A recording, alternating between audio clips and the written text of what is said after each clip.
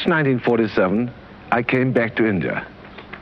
Less than a year after leaving the East, which meant so much to me, I was back again, back in the highest position an Englishman could hold, Viceroy of India. It should have been the most marvelous moment, and in some ways, indeed, it was.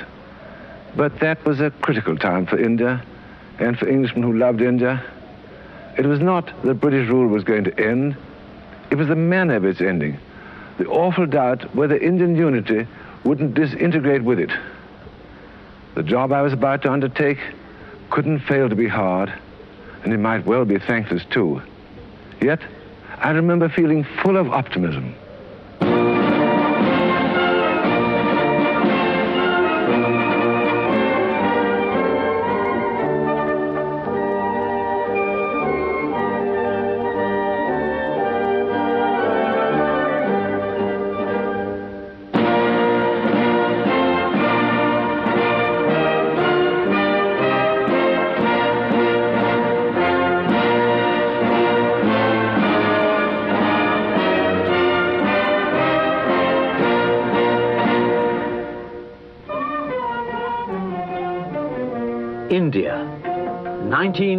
1947. A subcontinent. 400 million people, speaking 23 languages and 200 dialects, living under direct British rule, and in more than 500 semi-independent states dating from antiquity.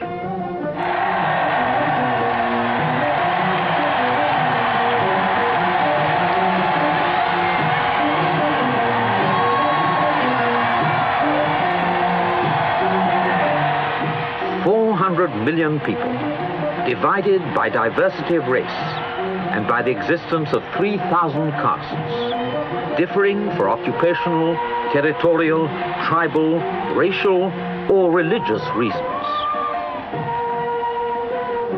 250 million of them Hindus.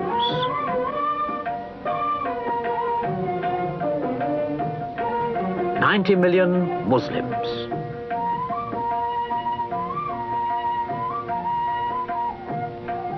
Six million Sikhs.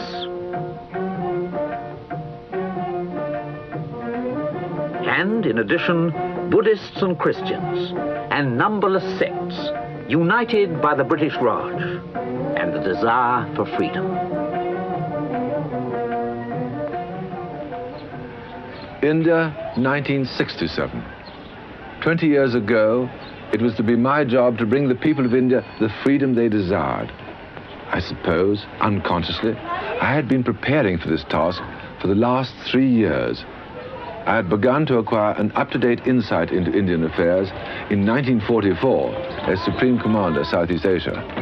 Then, in 1945 and 1946, I found myself face to face with the new tide of Asian nationalism, which of course included India. And I had to work out an attitude towards it. In Burma, in Singapore, and in Malaya, I had adopted the policy of trying to make the nationalists our friends instead of trying to suppress them. I hoped that people in India would remember this, and that now they would at least give me a chance of attempting the same treatment with Indian nationalism. The issue of Indian independence was brought to a head, as I had seen with my own eyes, by the Second World War.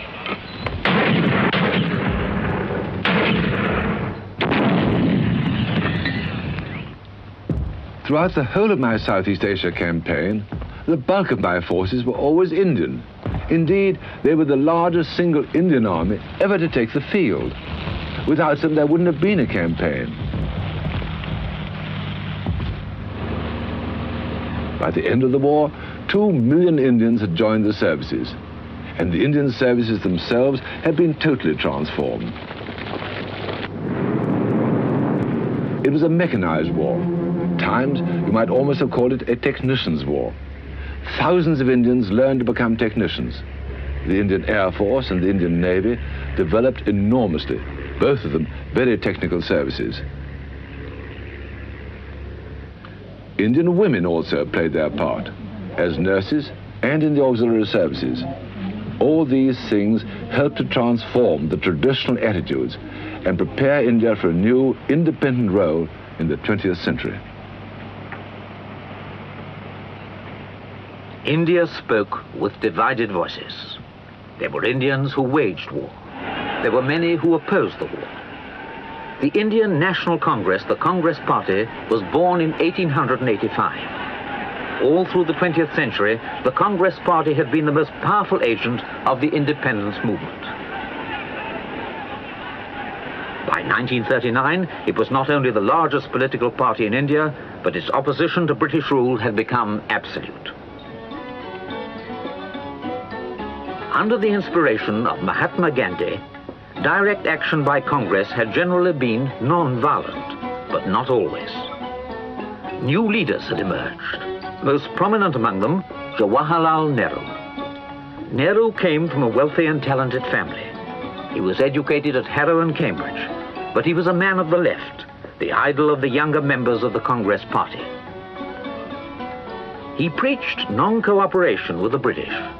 In 1939, this meant opposition to the war and non-participation in government. For the unity of India, this was fatal.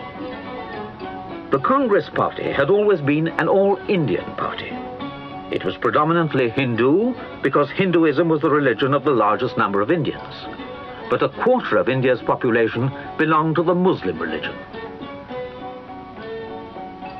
Congress had claimed to speak for Muslim India too.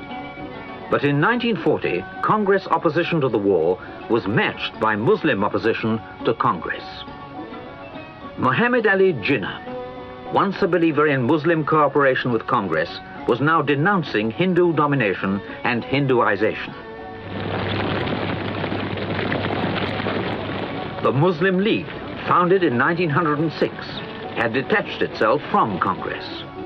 Jinnah had become its leader. And now in 1940, he came out with the open demand not only for independence, but also for a separate Muslim state, Pakistan.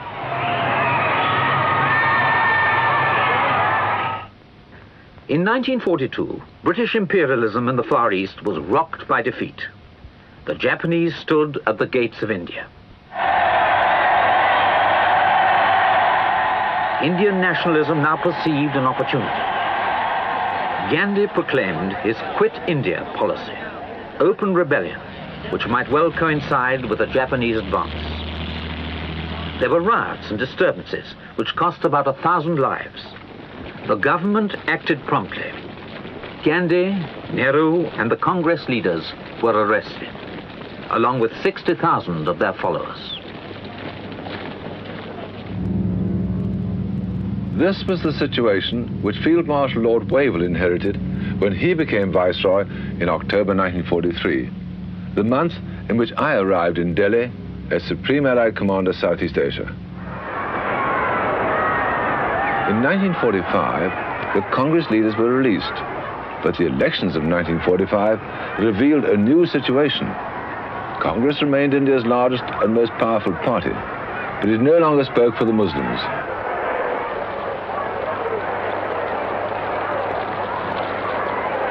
These now gave their overwhelming support to the Muslim League and Mr. Jinnah. And so the concept of Pakistan steadily became more real. But that inevitably meant partition. Partition was anathema to Congress, dreaded by many non-Congress Indians, and unacceptable to the British, for we boasted that we had given India her first real unity. But there could be no Pakistan without partition.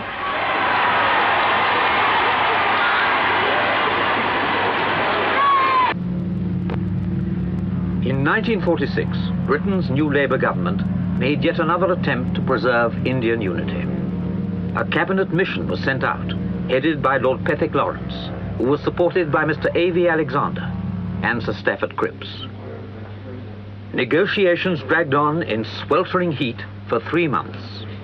They appear to have achieved some success, but agreement broke down in the atmosphere of mounting distrust between the Congress Party and the Muslim League. With the failure of the cabinet mission plan, India faced civil war.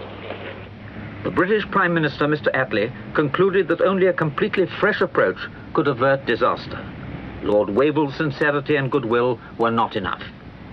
there would have to be, said Attlee, a change of bowling. He invited Mountbatten to take on the post of Viceroy. When Mr. Attlee asked me to take on this job, he rather took my breath away. This wasn't something that could be decided straight off, and in fact, we had several meetings about it. I asked to see the king. As King Emperor, he kept very close touch with Indian affairs. I pointed out to him that the chances of complete failure were very great, and it would be bad for him to have a member of his family fail. He replied, but think how good it would be for the monarchy if you succeed. And he then asked me formally to accept the appointment. This acceptance marked the beginning of the most intensive period of activity of Mountbatten's whole life, a life always conducted at a high pitch of intensity. He now had to turn himself into an expert on the whole complex Indian political scene, and he had just a month to do it in. Typically, he wasted no time. Work, constant and urgent, began immediately.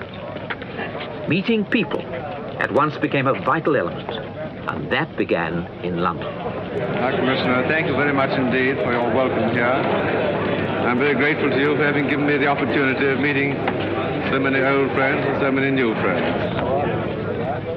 I knew it wasn't going to be all smiles and handshakes.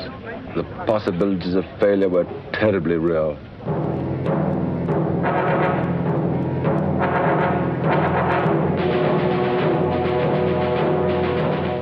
There had been appalling riots in Calcutta back in August 1946 with 5,000 dead and 15,000 injured.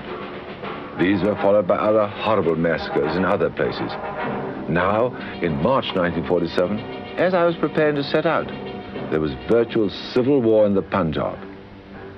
Faced with such facts as these, the sense of urgency took hold of me at once and never left me.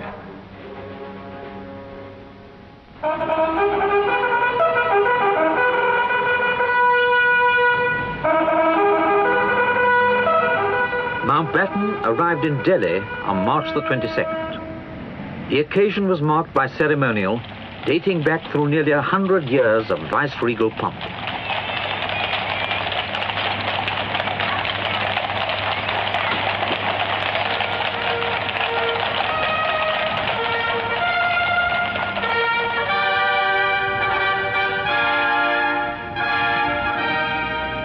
At the top of the long flight of steps leading up to the Viceroy's house, the Viceroy-to-be was greeted by the Viceroy in office. The formalities denoted that for one more day, Lord Wavell, as the personification of the King Emperor, held the status of a monarch in this house. When Wavell departed next day, it was with the sadness of leaving a great task unfinished, but with the knowledge of having once again done his utmost in the service of his country.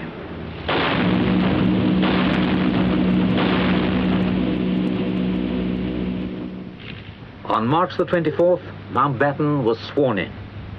Now, all India's hopes and all her complexities lay in his keeping. It was a very splendid ceremony, very impressive, but very brief. Someone who timed it said it was all over in 15 minutes. Was sobering to think of the responsibility I was assuming in that short space of time. I sat on the throne with Edwina beside me and thought that now I had to guide the destinies of one-fifth of humanity.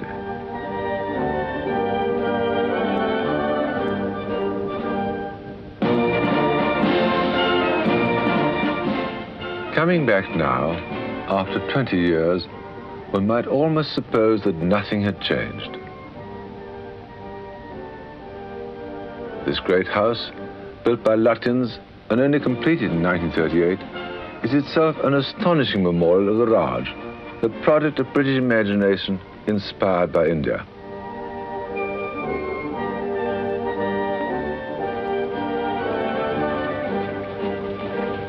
But what I had to do in 1947 was to wind up the Raj to guide India into independence. I played my part in all the ceremonies, knowing that I would be the last viceroy to do so. the last of a long line of British rulers going back to Clive and Warren Hastings. I wondered how to prevent the break with the past when it came from being absolute. Would anything survive of the historic links between Britain and India? Links that went back to the East India Company, then to Imperial India, when my great-grandmother, Queen Victoria, became Queen Empress. Links that had been forged even stronger on the battlefields of two world wars and on many other battlefields besides. Would it all be swept away? The thought appalled me. But one thing was sure. If any of this was to survive, it could only be by the restoration of goodwill, the goodwill of all Indians.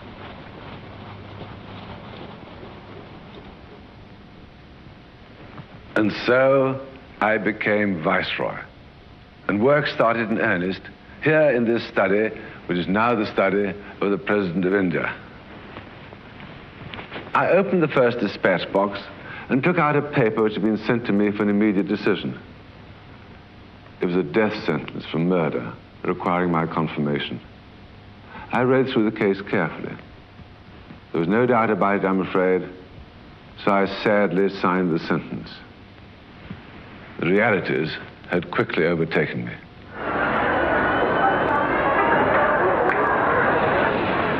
The British government had agreed to give me a time limit.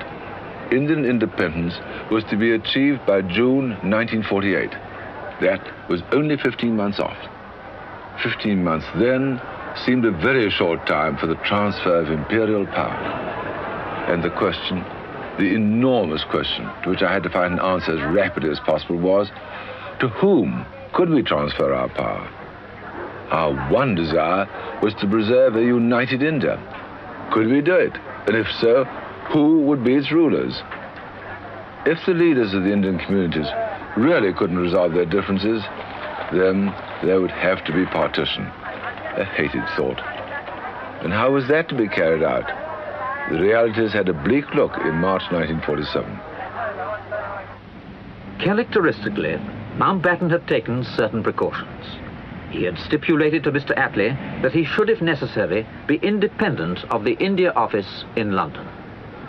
Mr. Attlee was distinctly taken aback. You are asking for plenipotentiary powers. No one has been given those in this century. There was a long silence. And then he said, All right, you have them. It shows his imagination and his largeness of mind that he accepted this too. But it was absolutely essential. I had to be able to make up my mind on the spot.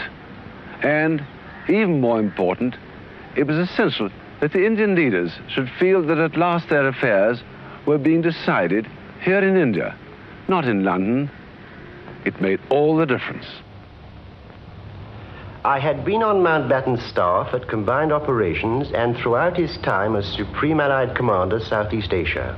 Now I was to be one of the small team headed by Lord Ismay that he invited to supplement and support the normal Viceroy's staff for confronting Mountbatten as India's last Viceroy was no normal situation. For really, the effective British decision to quit India had been taken, all unwittingly, when war was declared in 1939, because at that time we ceased recruiting for the Indian civil service. Its normal complement, even at the height of the Raj, had never been more than 1,100. By, no by November 1946, it had fallen to 520 British officers in senior posts, and many of these were overdue for retirement with the remainder Indians, their loyalties strained and divided, in trying to administer a regime it would soon be their function to supersede. As for the maintenance of law and order, it was doubtful whether the police establishment was strong enough by 1947 to enforce any policy opposed simultaneously by the two major Indian nationalist parties, the Congress and Muslim League.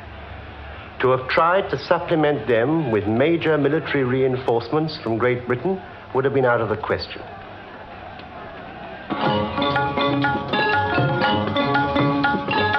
Once again, Mountbatten's role was to grip a crumbling situation, to give the ship of state in India the sense of being steered again. This he performed. His presence was felt from the moment he arrived. Every waking minute of every day, and Mountbatten could manage with very little sleep, the Viceroy was tirelessly at work. The immediate task was to establish contacts with people, the key figures of Indian politics, and through them, with the people of India. Once again, I could see that everything was going to depend upon personal relationships. If I could build up an atmosphere of trust and understanding with the key figures, I might succeed. If I couldn't do that, I knew I hadn't got a hope. And of course, all this had to be done in such a way that none of them could think that the others were being privileged or getting away with backstairs methods.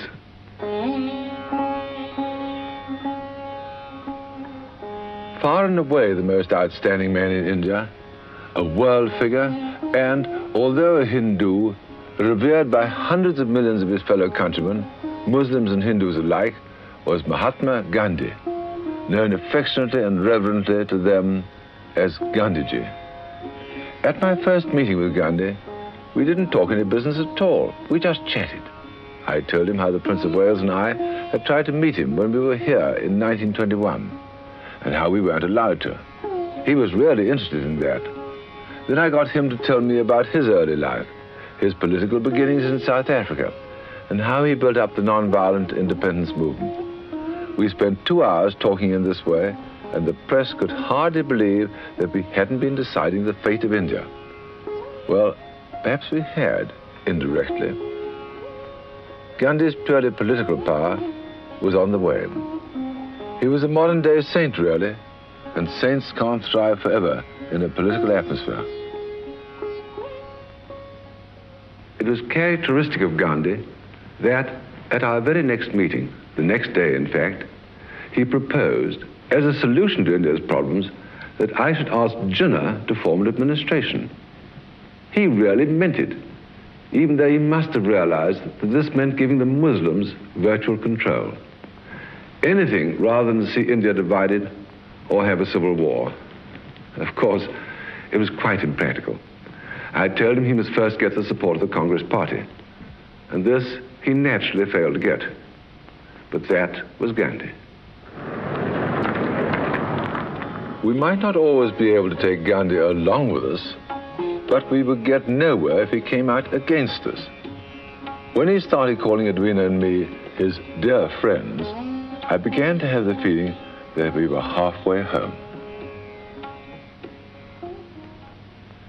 Nehru was already a friend, of course. My first meeting with him had been almost exactly a year before when he visited Singapore whilst I was still Supreme Commander, Southeast Asia. He knew now that he would get a fair deal from me. With Nehru, the trust I was trying to build up with the leaders was already there, and more than trust, friendship. It was not only between him and me, but with Edwina and my daughters Patricia and Pamela too. He believed that our whole family loved India and would try and do what was right for India. Nehru was a great statesman. He had a brilliant mind. He was quite amazingly quick to grasp a point and very sensitive to situations. I had an early indication of his acuteness. Not long after I arrived, he said to me, Have you by some miracle been given plenipotentiary powers? Why do you ask? You behave quite differently from any other viceroy. One has a feeling that what you say goes. Well, what if I have? In that case, you will succeed, said Nehru. Sardar Vallabhbhai Patel was another tremendously important figure. Inside the Congress Party, he was just about as eminent as Nehru. Patel concentrated on internal politics. He was the man who dispensed patronage in the party. As Home Minister, that meant he controlled the jobs. Patel could be really tough. Perhaps he didn't have Nehru's mass appeal, but he could wield great influence. It was he who had done most to end the mutiny in the Indian Navy in February 1946. A very ugly moment, Patel could be a great force for moderation, if he so decided. But if he didn't, he could be most dangerous. At one of our very early meetings, Sardar Patel and I had a stand-up row. He was used to getting his own way, and on this occasion, I didn't like his manner of going about it. He was astonished, not to say shocked, to find that he had to give way to me, but he did. From then onwards, our relationship improved, until in the end, we also became firm friends. Here again, the alternative would have been disastrous. We could never have hoped to make any headway against Patel's opposition. In this case, I owe a lot to the late V.P. Menon, who wrote the history of these events.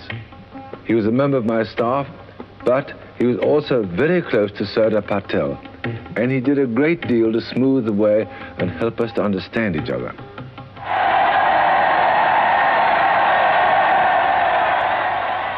The man whom I had real difficulty in getting through to was Mr. Jinnah, the Quaid-i-Azam, the great leader, as his followers called him. If it could be said that any single man held the future of India in the palm of his hand in 1947, that man was Muhammad Ali Jinnah. To all intents and purposes, Jinnah was the Muslim League. And if the dream of Pakistan, the separate Muslim state, ever did come true, it would be Jinnah who brought it to life and fashioned it. I tried the same technique with him as I'd used with Gandhi. No business at the first meeting, just talk to get to know each other. He was very surprised by this, but after a while he softened up a bit and we got on well enough. But I said after that interview, my God, he was cold. Generally speaking, Mountbatten's diplomacy by discussion worked marvelously with the Indian leaders. In the first 44 days after our arrival in March, he had 133 meetings with Gandhi, Jinnah, Nehru, Patel, and the other leaders. Immediately after each interview, he would dictate a brief note of what had been said, which would be available for his staff at the morning moots he had with us. We were all in the picture. This was a good example of his well tried way of producing in his staff what he called the spirit of the hive. At our staff meetings, all possible concepts were examined. But just how tense and dangerous the situation was is summed up in an entry I made in my diary as early as the 5th of April.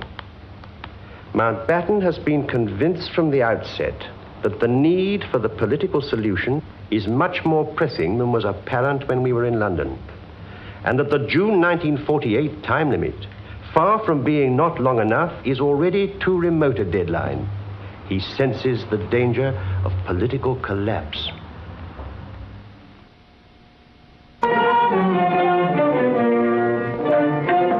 Mountbatten had been Viceroy of India for less than a month. Crisis reports flowed in. Bengal and the Punjab were always trouble centers. But now a new one came into the news, the Northwest Frontier Province. On April the 28th, the Mountbattens flew to Peshawar. The plan was for quiet, calm deliberation in the governor's residence. But no sooner had the Mountbattens touched down than they were advised by harassed officials that a vast demonstration and tribal gathering brought together by the Muslim League had been building up over the past week and was within a mile of Peshawar. There seemed no means of stopping them. Mountbatten drove off to the demonstration, Lady Mountbatten, with great courage, insisting on going with him. The enormous crowd confronting us was certainly formidable, and they were gesticulating and waving hundreds of illegal green flags with the white crescent of Pakistan. And there was a steady chant of Pakistan Zindabad. Within a few minutes of our arrival, the tension lifted and the slogan changed to Mountbatten Zindabad. Any sort of speech was out of the question, but the impact of their friendly, confident personalities on that fanatical assembly had to be seen to be believed. As I looked at each day's new results of communal discord, I realized that in their present mood, the religious groups were just not going to be able to live together. They were tearing their country to pieces. What a calamity. And it wasn't as though India had ever lacked calamities. flood, pestilence, famine were always to be reckoned with, despite all efforts to avert them. I remembered vividly the great Bengal floods in 1943. The devastation, misery, and loss of life they caused were incalculable. Nature in the East can be a fearful, destructive force.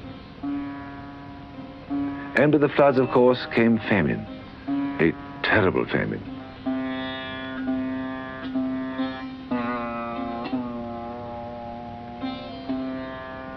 I believe the loss of life from flood and famine in 1943 alone was about two millions. It didn't need the efforts of human beings to cause the havoc in India, yet that was precisely what human beings were doing by refusing to live in peace together. Well, if they wouldn't live together, then they would have to live apart.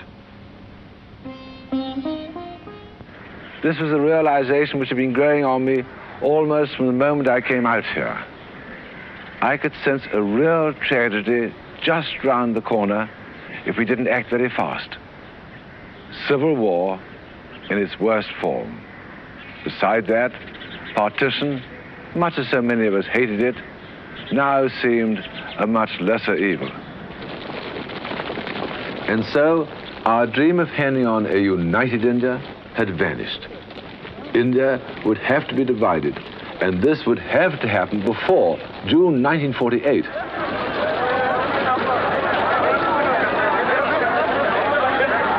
It was Jinnah who, more than any other man, had made partition inevitable. And yet, when it came to practical matters, made the bargaining so difficult that he almost defeated his own ends. The argument over the two key provinces, Bengal and the Punjab, seemed to be insurmountable.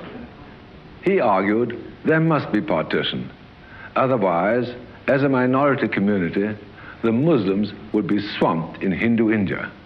Right, I said. Then, by the same argument, the two provinces you want in Pakistan with large non-Muslim minorities will also have to be partitioned. Oh no, you can't do that. Punjabi unity and Bengali unity are much more important than Hindu-Muslim differences. In that case, I said, surely Indian unity is much more important than Hindu-Muslim differences. Oh no, said Jinnah, we must have Pakistan.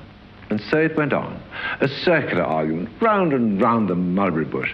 I never met anybody who could say no so persistently and so effectively. Perversity was not all on one side. At one stage, Gandhi, the man of peace, even urged that Indian unity should be maintained by force. Yet a plan had to be produced, and a plan was produced. In just six weeks, six weeks of pure Mountbatten. On May the 3rd, it was submitted to the British government. I went off for a short rest in Simla. But in fact, the most important single piece of business of all happened there. Nehru was staying with me when the British government's amended version of our plan arrived. I decided to back a hunch. Since Nehru was here with me, I would show it to him straight away in confidence. Of course, I could never have thought of such a thing if we hadn't already been such good friends. This is something I couldn't possibly have done except on the basis of a complete mutual trust. Nehru turned the new draft down flat. He said it would lead to the balkanization of India, and he would have nothing to do with it, and he doubted if any party would. If I hadn't shown it to him, and he and the other leaders had been forced to say that in public, what fools we should all have looked. As it was, there was still a chance. V.P. Menon was with me in Simla, and he came to the rescue again. We all of us worked at full pressure to find a new formula.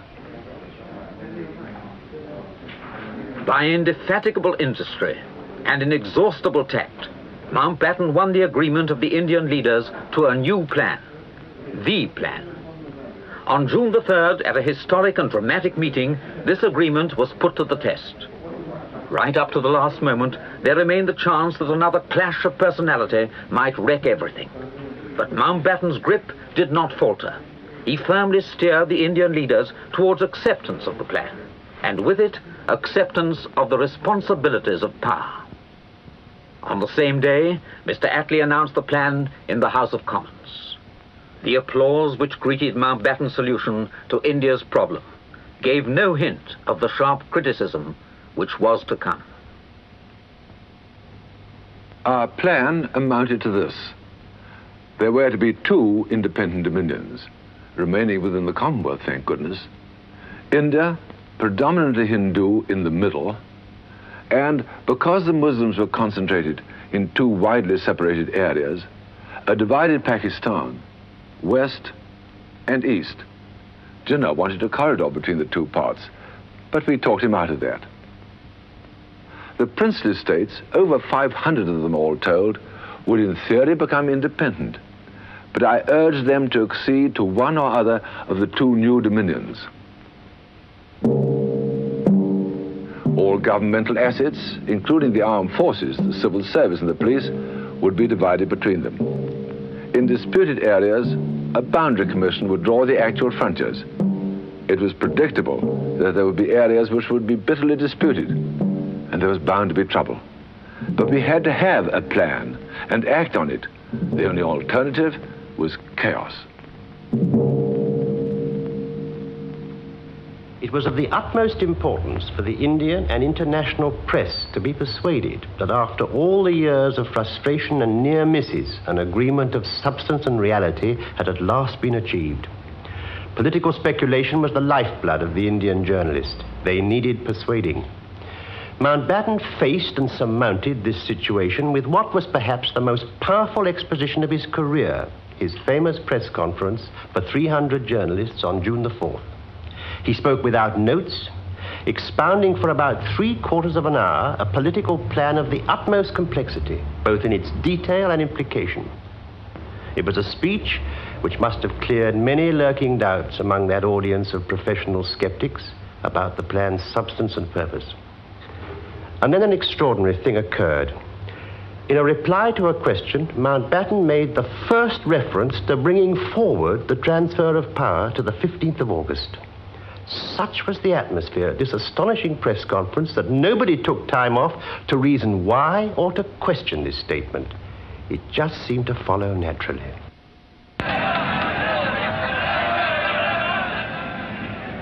The August deadline was really dictated to me by my whole experience since I had arrived in India, and above all, by the virtual breakdown of normal government. The Viceroy's Executive Council contained nine members who always voted on the Congress side, and six Muslim League members. With Partition 9 in sight, they pulled in completely opposite directions. And it was no use bringing disputed points to the vote, because the Congress always won, 9 to 6. So the Executive Council, in effect, broke down. I tried the expedient of setting up two shadow cabinets, one for each future dominion. But even this eventually broke down. Direct rule I considered impossible. The British administration was no longer capable of carrying it out, and in any case, it was a thoroughly bad solution. The Indian leaders had opted for partition. They must be the ones to carry it out, and not the British. Uh, looking back to 1947, one is apt to miss uh, the intensity and the bitterness that existed in India at that time. And uh, yet, in spite of what uh, one has seen during these last 20 years, I have no hesitation in saying that the decision when it was taken was a perfectly genuine one and one which the leaders of India thought was in the best interests of the future of the country.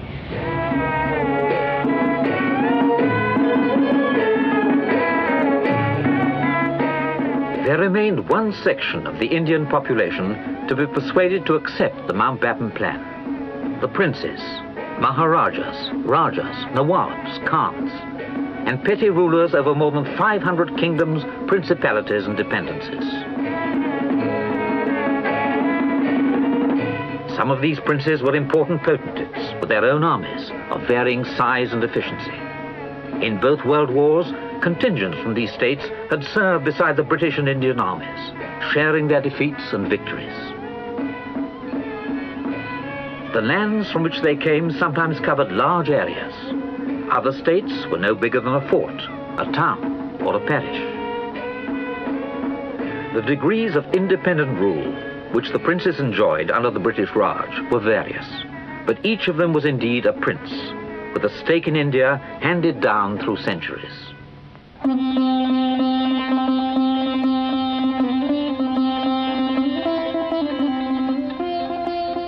The princes of India were in a pathetic situation. They belonged to the past, a remote past, and most of them had no idea of how to conduct themselves towards the people who were going to be India's new rulers. They were disunited, proud, frightened, some of them angry, and all of them uncertain.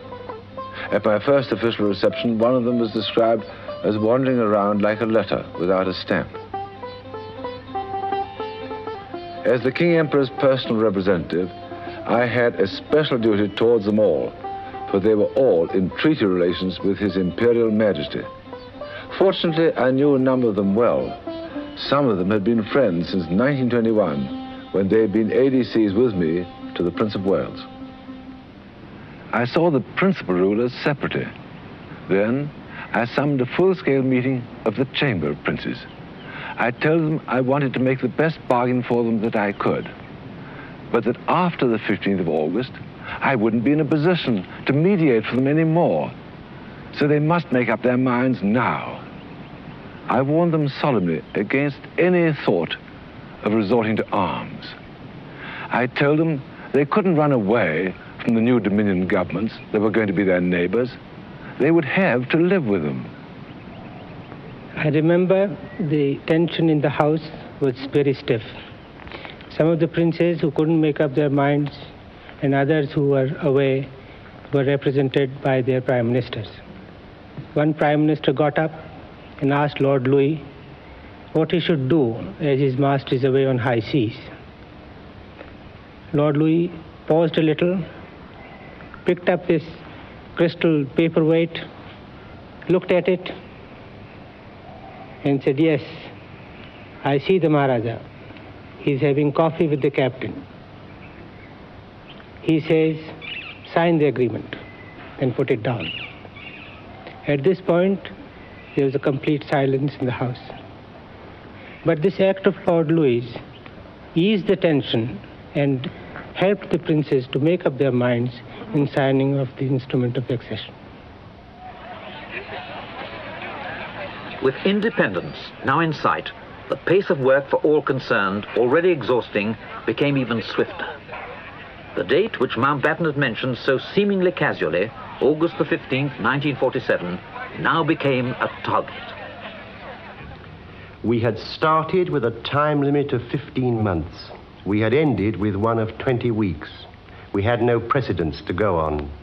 In spite of the dangers ahead, there was a sense of exhilaration induced by the political agreement which gave Mountbatten and his staff added strength to cope with the host of administrative problems crowding in on us during those hectic weeks and days before August the 15th. There was also a sense of urgency which Mountbatten did his utmost to stimulate in all around him. He had a special calendar prepared for his staff, which stated starkly under the date, so many days to the transfer of power. As a reminder to us to keep busy and to do our duty, it wasn't strictly necessary. But it somehow symbolized his will to succeed and, having broken the historical deadlock in India, to keep things moving. History was on the march again. He wanted to be sure that we kept up with it. Everything seemed to be happening at once, and so fast that by a paradox, time itself seemed to come to a standstill.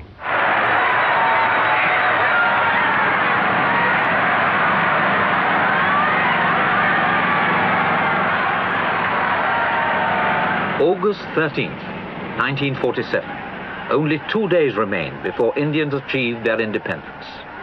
But by the nature of the plan accepted, independence would mean two things. and the focus of attention would be in two places.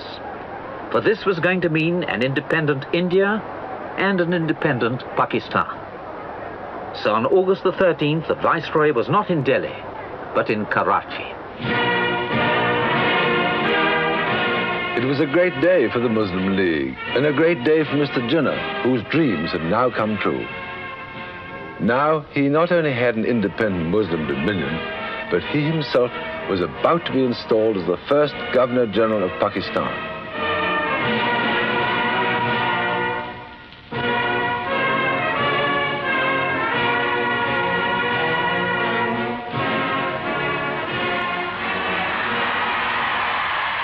It was disconcerting, to say the least, to be aware all through the ceremonies in Karachi that there was a plot to throw a bomb at Jinnah as he drove back from the swearing in.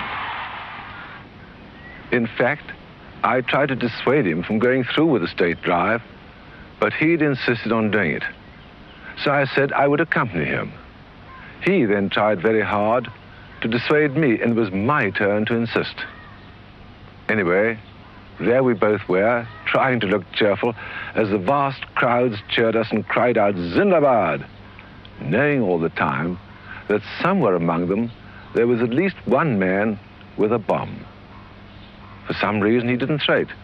So he got back to Government House safely. And Jinnah, in a moment of rare emotion, laid his hand on my knee and said, Thank God I've brought you back alive. I thought this was a bit much, so I replied, Thank God I've brought you back alive.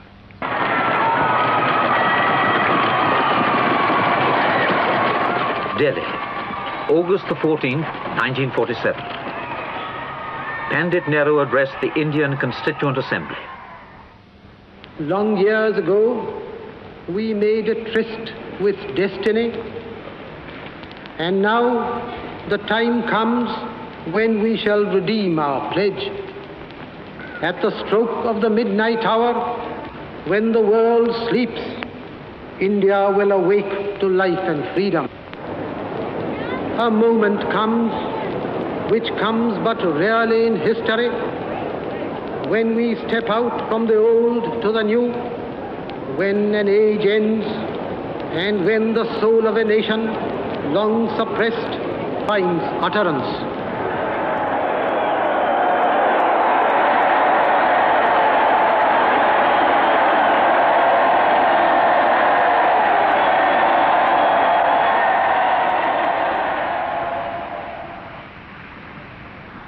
Mission accomplished. It wasn't exactly the mission I'd come out to perform. I'd come out to see if there was a last chance of handing over to a united India. It turned out that there wasn't even a remote chance. We'd had to accept that. But it was a sad reflection. So I couldn't look on this day's achievement with completely undiluted pleasure. And then, too, there was a sense of the end of an epoch. 200 years of British rule in India, with all the tremendous memories that that implied. This very building shouts empire at you from every angle. You couldn't get away from it.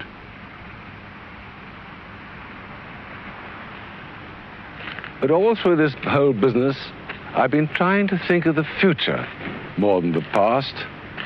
I've been viceroy for less than five months. But it seemed like five years, or perhaps like five minutes.